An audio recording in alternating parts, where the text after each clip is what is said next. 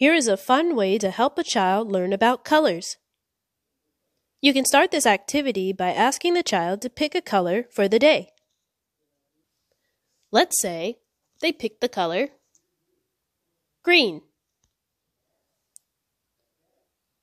Now you and the child can go around finding objects that are the color green.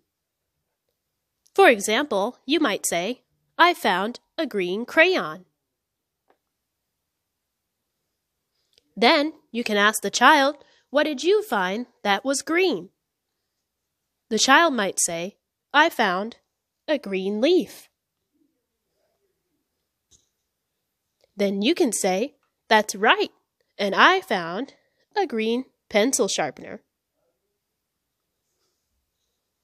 You can continue looking for other objects that are green. And then next time, they can choose a different color. Doing this activity helps a child learn to recognize colors.